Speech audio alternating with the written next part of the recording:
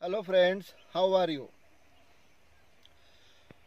Now open your textbook, 8th English textbook. Come on to page number 15. Below the page number 15, there is a language study. Look into your book now. Today we are going to learn a degrees, a degrees of comparison of adjectives. Now look at the exercise number one degrees of comparison of adjective read the following sentences adjective do you know about adjectives and do you know about degrees तुम्हाला degree म्हणजे काय आणि ॲग्जेक्टिव्ह म्हणजे काय माहिती आहे का? एग्जेक्टिव्ह म्हणजे विशेषण. नामाची विशेष माहिती ज्या शब्दातून आपल्याला मिळते त्याला आपण एक्जेक्टिव्ह म्हणतो. अँड डिग्रीज डिग्रीज म्हणजे तरतम भाव. तर तरतम भाव काय आहे? आणि degrees of comparison of adjective काय आहे? ते आपण आजच्या पाठात शिकणार आहोत. Now listen carefully sentence number one look at the sentence number one Yatin is strong it's a very simple sentence Yatin is strong Yatin is a noun and strong is objective this is a simple sentence this is a simple sentence Now, in this sentence, the adjective strong is in its simple form. So that it is called a positive degree. Okay पहिलं वाक्य बघा. पहिलं वाक्य असं आहे Yatin is strong या Yatin is strong या वाक्यामध्ये स्ट्रॉंग हे ॲडजेक्टिव्ह आहे.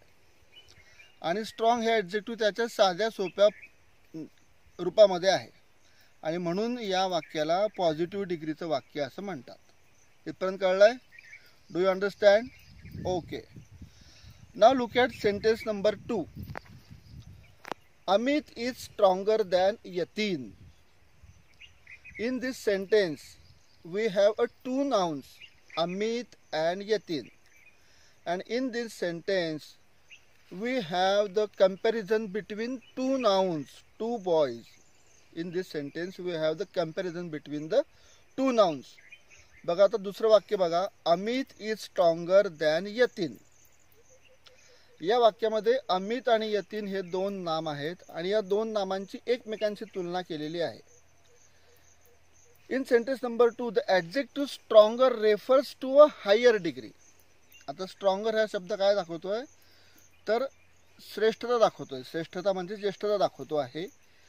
When there is a comparison of two nouns जेव्हा दोन नामांची तुलना होते तेव्हा ते वाक्य कम्पॅरेटिव्ह डिग्रीचं असतं हे सगळ्यांनी लक्षात ठेवायचं आहे it is call a comparative degree and in this sentence we have a prefix to the adjective E R is added to the basic adjective E R हा प्रत्यय आपल्याला बेसिक ॲडजेक्टिव्हला ॲड झालेला दिसतो आहे.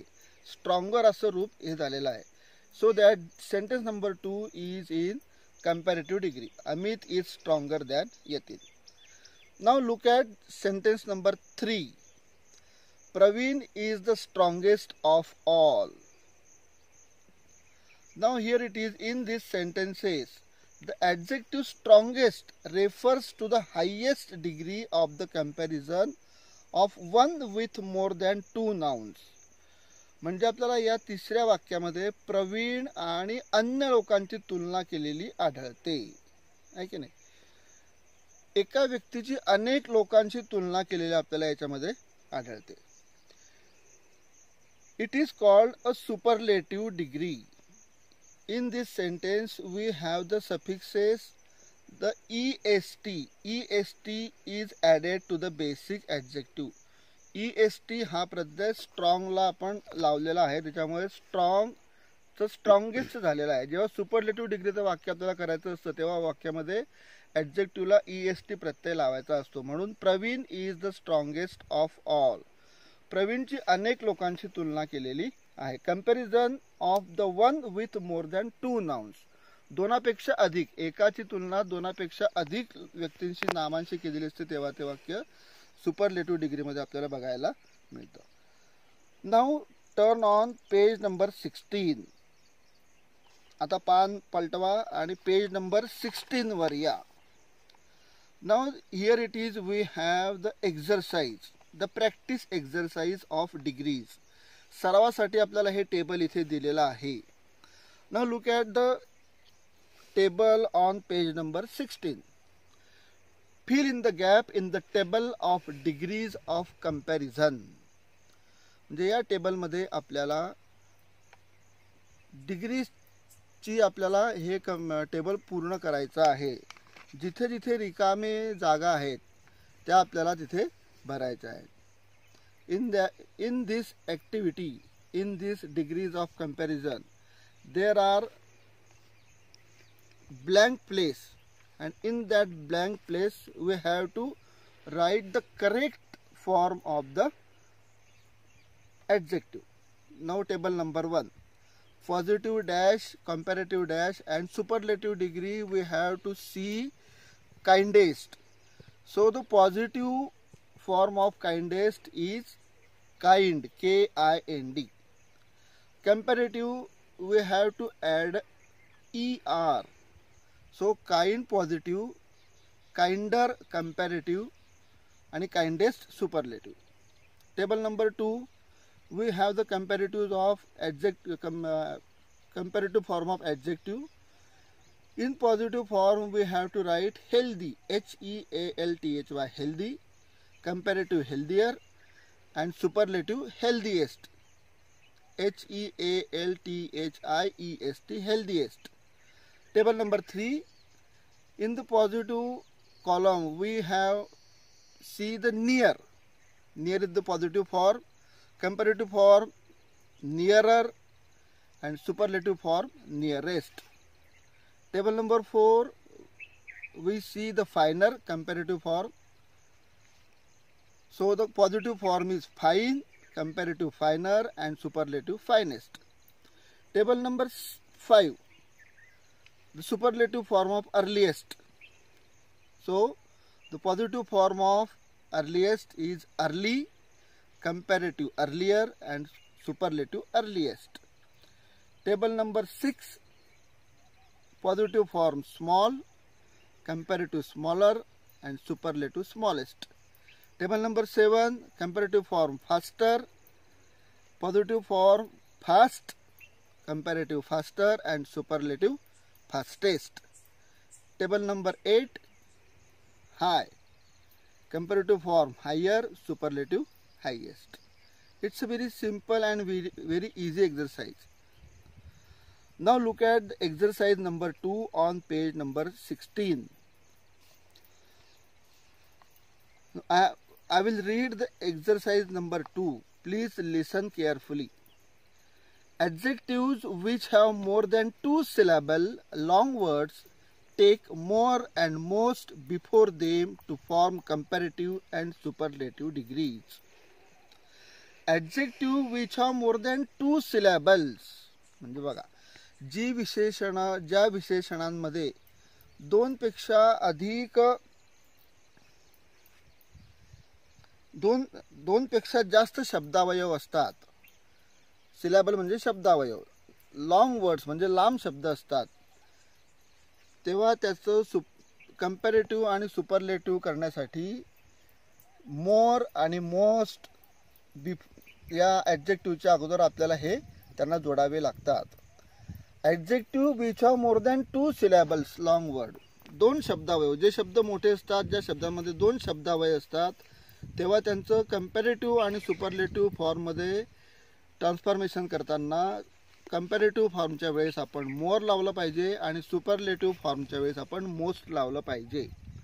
For example now look at the example example number one successful the successful the word have the two syllables so this is the positive degree successful हे degree डिग्रीतला शब्द आहे compared to when it convert into com comparative degree, it becomes more successful. And when it becomes superlative degree, it becomes most successful. सक्सेसफुलचं आपल्याला जेव्हा comparative degree करायची असते तेव्हा comparative डिग्रीच्या अगोदर आपण मोर लावायचा आणि सुपरलेटिव्ह डिग्रीच्या अगोदर आपण मोस्ट लावायचा. अतिशय सोपं आहे. Now give the comparative and superlative forms of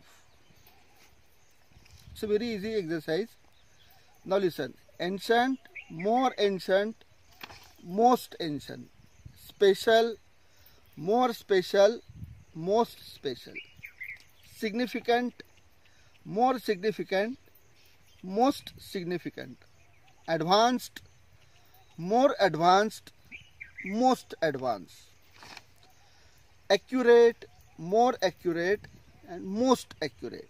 It's very simple. सगळ्यांना कळतंय का आपल्या पाठात काय चाललंय ते okay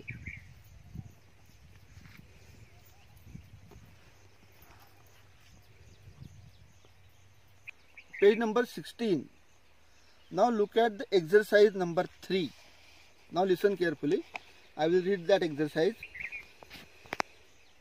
When in a line of a poem human characteristics are given to something non-human. The figure of speech used is personification. Listen again. When in a line of a poem human characteristics are given to something non human. When in a line of a poem म्हणजे एखाद्या कवितेच्या ओळीमध्ये human characteristics are given to something non human. जेव्हा एखाद्या कवितेच्या ओळीत अमानवी गोष्टीला मानवी वैशिष्ट्ये दिलेली असतात म्हणजेच निर्जीव गोष्टी सजीवप्रमाणे कृती करतात. When the figure of speech use is personification तेव्हा तो भाषेचा चेतना गुणोक्ती अलंकार असतो. हे लक्षात ठेवा. आता पुढे for example human trees running river smiling flowers hum humming trees humming trees म्हणजे काय? हलणारी झाडे. हालचाल करणारी झाडे. रनिंग रिव्हर खळाळती नदी किंवा वाहणारी नदी. स्माइलिंग फ्लॉवर्स म्हणजे हसणारी फुले. आता फुले नद्या आणि झाडे या निर्जीव गोष्टी आहेत. त्यांना आपण काय केलेलं आहे? मानवी स्वरूपातल्या गोष्टींची उपमा दिलेली आहे. आणि म्हणून तेव्हा ते काय होतं? पर्सनिफिकेशन म्हणजे चेतना गुणोक्ती हा भाषेचा अलंकार होतो. Find the examples of personification from the poem अशा प्रकारची उदाहरणं आपल्याला कवितेतून शोधून काढायची आहेत.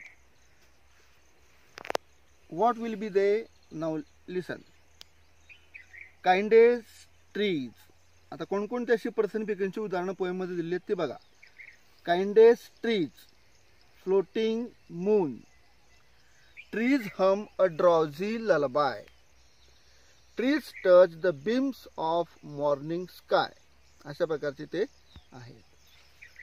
okay now we have completed this 1 2 and 3 exercises of language study now come on page number 17 आता पान number 17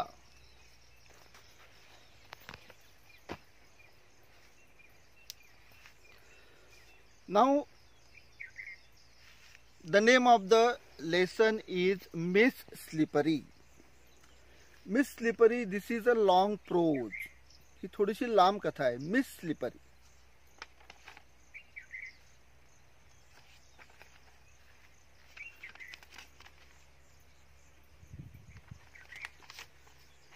this story is divided into three parts and story adopted from the story by Popti Hiranandani.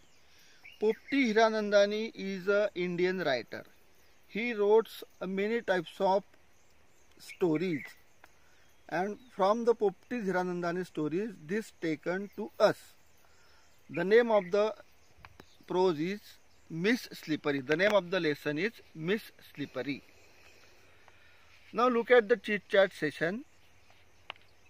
Look at the question number one. Do you argue with your friends and why do you argue with your friends and why तुम्ही मित्रांसोबत भांडण करता का किंवा तुम्ही मित्रांसोबत वादविवाद करता का? असा याचा अर्थ आहे. आणि का करतात? Now the answer will be the different each and every students will gives answer to this question very different one said yes I argue with my friends एखादा काय म्हणेल की हो मी माझ्या मित्रांसोबत वादविवाद करतो भांडण करतो. Why because here here it is again the various reasons we got another friend said my friend abuses me another said he stole my pen so that a various reasons came here okay look at the question number two do you stop your arguments after some time or continue it for a long time? Do you stop your argument म्हणजे तुम्ही तुमचं वादविवाद थांबवता का? After some time or continue it काही वेळाने थांबवता का तुम्ही कंटिन्यू करता किंवा तुमचा वादविवाद चालूच असतो? It for a long time बराच वेळ तुमचा वादविवाद सुरू असतो. Here it is also we have the various reasons for this question yes I stop my argument after some time असं याचं उत्तर होऊ शकतं. Question number three why do people quarrel or fight why do people quarrel or fight now the answer of this question is like that people quarrel or fight without any reason. People quarrel or fight without any reason म्हणजे कुठल्याही कारणासाठी लोक भांडू शकतात. Question number four do we forgive or punish our dear ones for their mistakes पुन्हा एकदा बघा. Do we forgive or punish our dear ones for their mistakes do we forgive म्हणजे आपण त्याला माफ करतो का? ऑर पनिश किंवा त्याला शिक्षा करतो का? कोणाला? आवर डिअर वन्स आपल्या प्रिय व्यक्तीला फॉर देअर मिस्टेक्स त्यांनी जर काही चुका केल्या असतील आपल्या लाडक्या व्यक्तींनी किंवा आपल्या जवळच्या मित्राने जर काही चुका केल्या असतील तर आपण त्यांना माफ करतो का? त्यांना शिक्षा करतो? Yes I forgive my dear ones for their mistake असं याचं उत्तर होऊ शकतं. I forgive my dear for their mistakes मी त्याला माफ करतो. त्याने काही चुका केल्या असतील तर. Question number five what do you feel after a quarrel with dear ones how do you feel तुम्हाला कसं वाटतं? आफ्टर अ क्वारल भांडण झाल्यावर विथ डिअर वन्स तुमच्या आवडत्या किंवा प्रिय व्यक्तीसोबत मित्रासोबत जर तुमचं भांडण झालं तर तुम्हाला कसं वाटतं? तर I feel very sad very unhappy after a quarrel with dear ones म्हणजे मला वाईट वाटतं मी दुःखी होतो. माझ्या मित्रासोबत आवडत्या मित्रासोबत भांडण झालं तेव्हा मी दुःखी होतो किंवा मला वाईट वाटतं. Now exercise number one in chitchat session think over the following and tick mark the proper option as per your choice think over the following खालील वाचा आणि विचार करा. अँड टिक मार्क बरोबरची खुली करायची.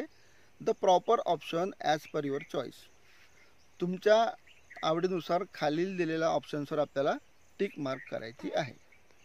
Now listen A Do classmate tease trouble and and you you? Again do Do classmate tease trouble and and avoid you म्हणजे तुमचे वर्गमित्र. तुम्हाला चिडवतात का? त्रास देतात का? आणि तुम्हाला नाकारतात का? म्हणजे तुम्हाला बाजूला टाकतात का? The options are yes no sometimes here it is against the options are different म्हणजे इथे सुद्धा बऱ्याच मुलांचे वेगवेगळे ऑप्शन्स येतील. काही मुलं म्हणतील येस काही मुलं मला त्रास देतात चिडवतात नाकारतात. काही जण येस लिहितील काही जण नो लि टिक करतील. बरेच मुलं समटाईम्सवर टिक करतील. B do you with your friends also tease trouble or give names of any of your classmates do you with your friends म्हणजे तुम्ही तुमच्या मित्रासोबत असतात का? Also tease trouble and give names of any of your classmates म्हणजे मित्रांसोबत चिडवायला त्रास द्यायला तुम्ही तुमच्या मित्रांसोबत असतात का? याचेसुद्धा उत्तर पुन्हा इथे वेगवेगळे येऊ शकतात. येस नो समटाईम्स जे आपल्याला वाटत असेल त्याच्यावर आपण टिक मार्क करायचं आहे. C how do you handle the teasing म्हणजे तुम्हाला जेव्हा कोणी चिडवतं त्यावेळेस तुम्ही त्यांना हँडल कसं करतात? तुम्ही र क्राय म्हणजे तुम्ही रडतात का? इग्नोर म्हणजे दुर्लक्ष करणे कंप्लेंट टू टीचर शिक्षकांकडे त्याची तक्रार करतात का? तर याचीसुद्धा वेगवेगळी उत्तरं असू शकतात. काही जण इग्नोर करत असतील दुर्लक्ष करत असतील काही जण शिक्षकांकडे तक्रार करत असतील.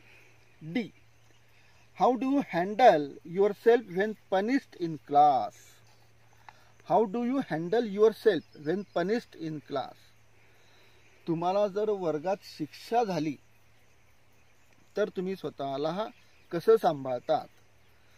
क्राय म्हणजे तुम्ही रडतात का? गेट अँग्री म्हणजे तुम्ही संतापतात का?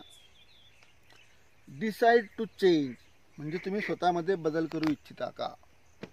तर बरेच विद्यार्थी decide to change a lot of students may be pick decide to change म्हणजे आम्ही बदलू स्वतःमध्ये बदल घडवू शकतो.